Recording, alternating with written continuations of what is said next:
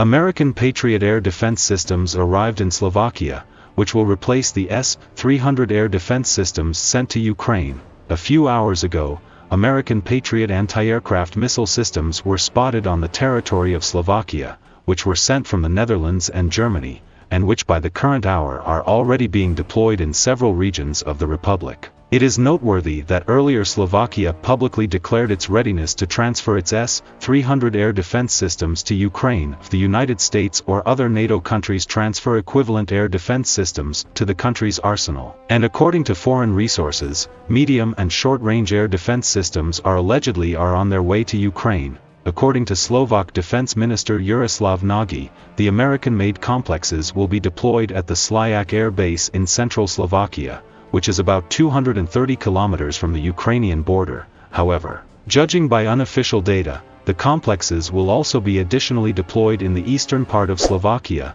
however, their location is not called. A little earlier, Slovakia announced that without providing additional air defense systems, the country could not transfer its only division of the S-300 air defense system to Ukraine. However, if modern weapons were provided, Slovakia would be ready to take such a step.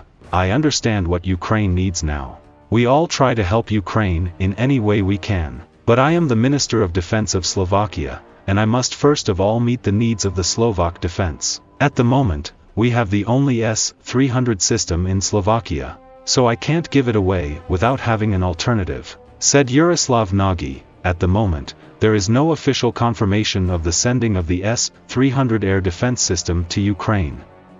Subscribe to channel to be notified on latest updates.